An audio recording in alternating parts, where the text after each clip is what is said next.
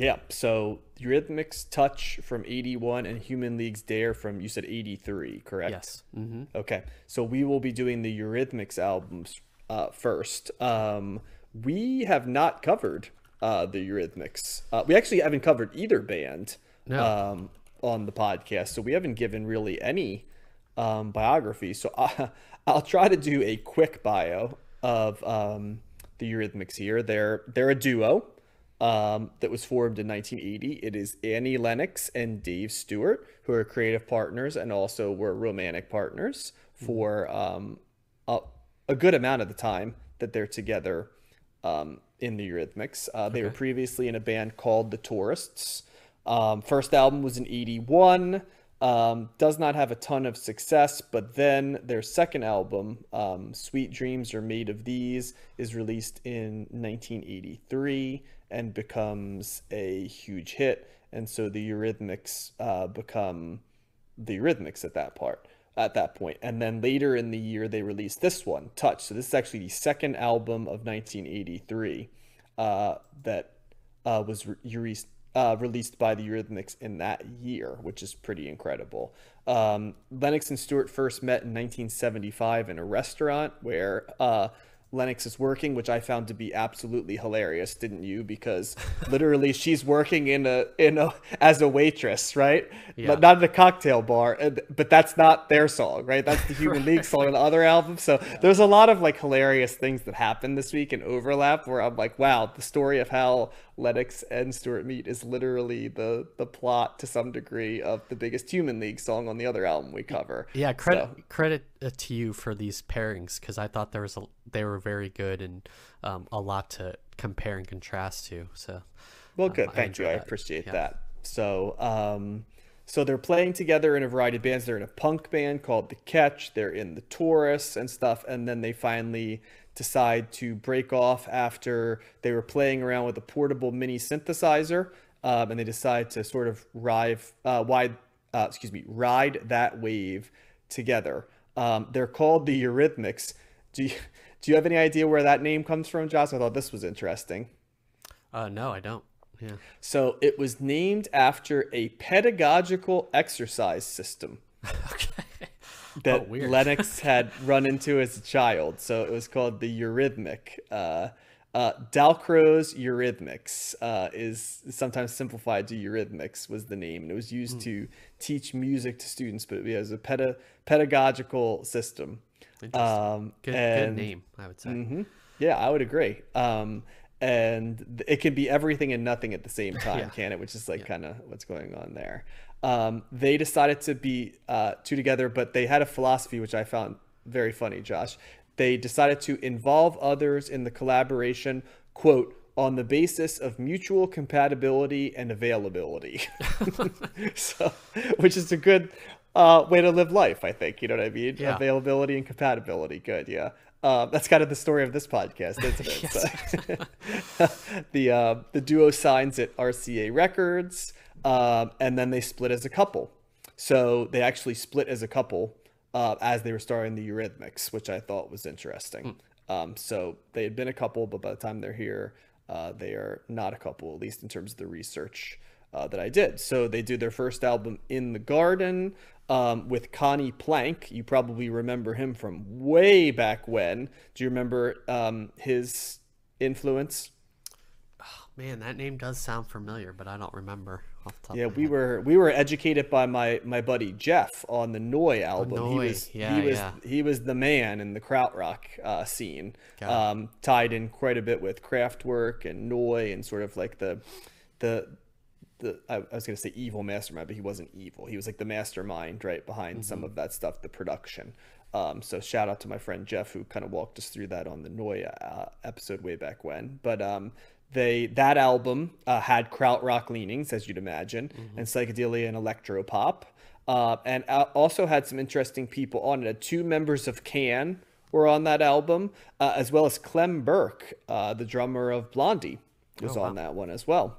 Um, and the album did not sell very uh, well. The highest tracking song uh, got to number 63 on the UK charts, and um, they toured behind it.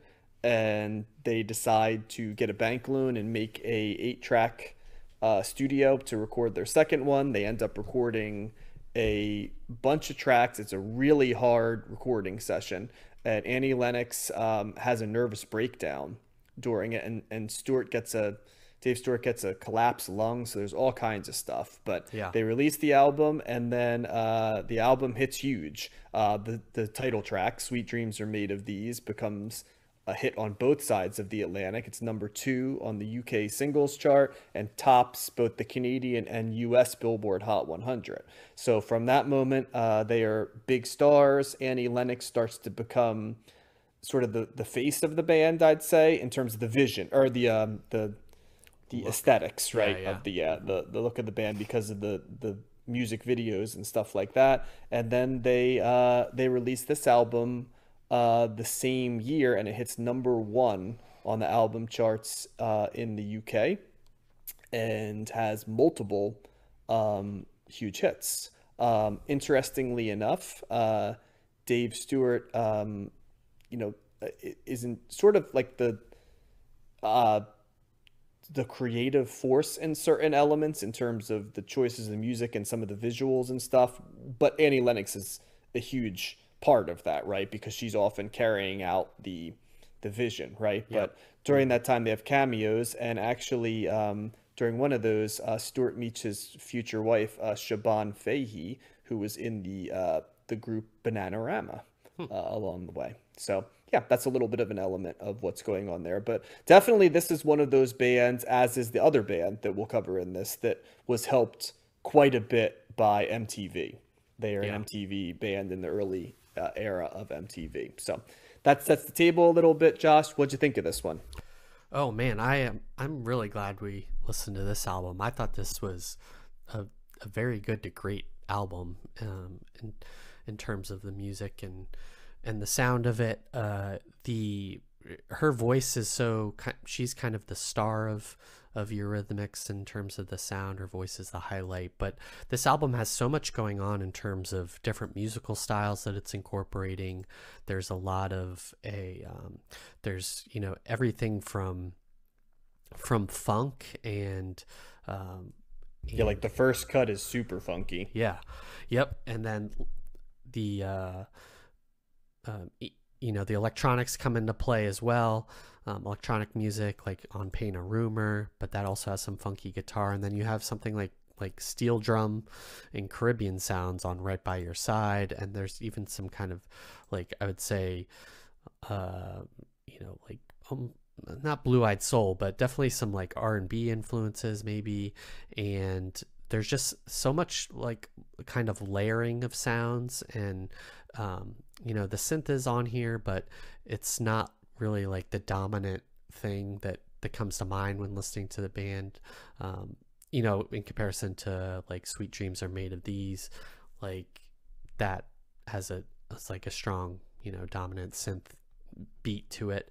But this kind of varies from track to track and you know almost into this album is creative in a way that that like the talking heads albums were creative there're just so many kind of That's a, a point I wrote down too. That it's it's in many ways like a Talking Heads album. yeah yeah it's it's remarkable in terms of kind of the variety and the originality and the way that they incorporate things and and her voice kind of anchoring it all and she has this kind of you know like i don't know you know deeper i would say deeper female voice um uh, register than than some other bands and that kind of adds this you know like mysterious or kind of you know velvety her voice is very velvety and like um, Well, And and sultry i guess too in a way would you say because you're saying she's the standout, but to me, um, it's such a clear contrast between her voice and like the music behind it, which is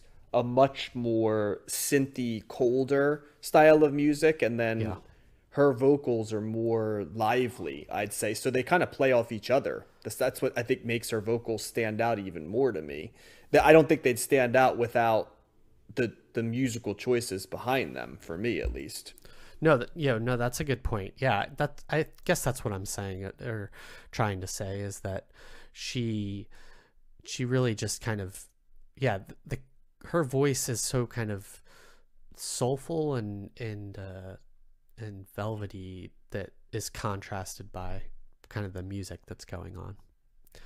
But um yeah this was a, a real pleasure to listen to. There was no no um, weak tracks on the album. Some of the songs were were slightly long but uh, something like no fear no hate no pain no broken hearts which is the second to last track is kind of is really like a dance track almost and um, has a repeating that repeating refrain um, in the chorus and throughout the album and um, there's a real groove to this uh, album as well as just kind of a variety that I really appreciated.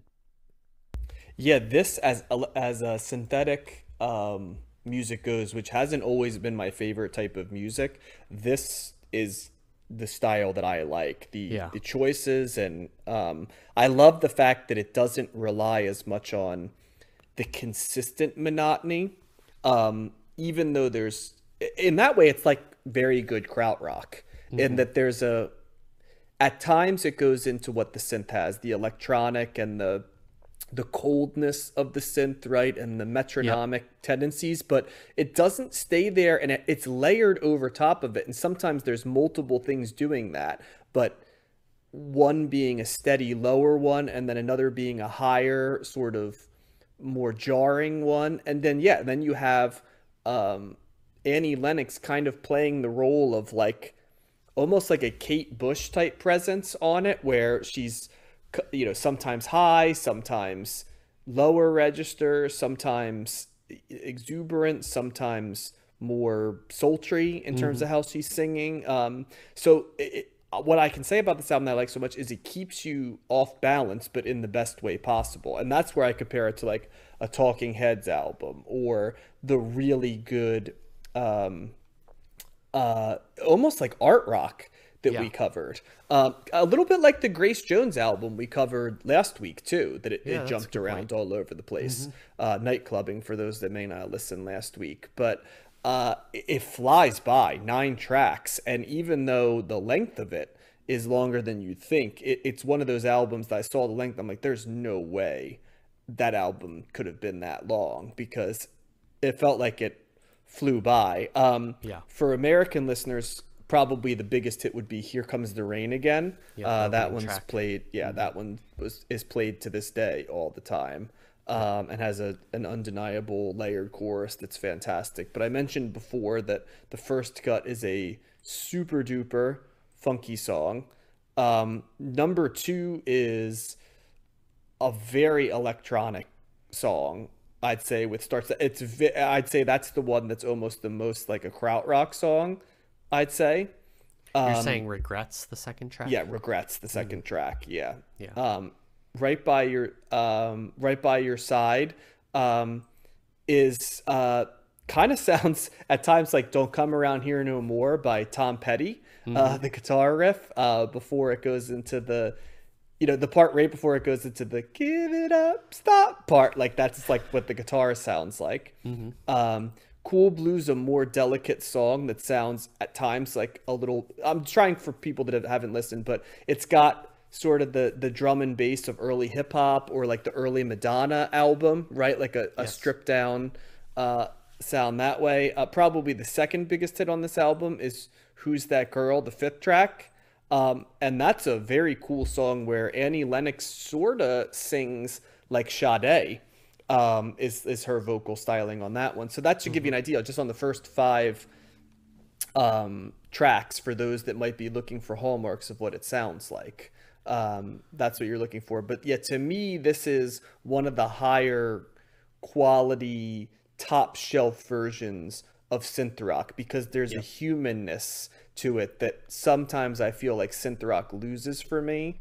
That it balances the best of what synth rock gives with the the dance the danceability sort of like the alluring coldness Yep. but with um but with a humanness to it and that that's why it has a little bit of like what the new romantics bring to and that's why another thing i think it sounds a little bit like is roxy music but like a synth version of roxy music so uh, yeah, this one is definitely a, a recommend for me. Strong recommend. I enjoyed this album quite a bit.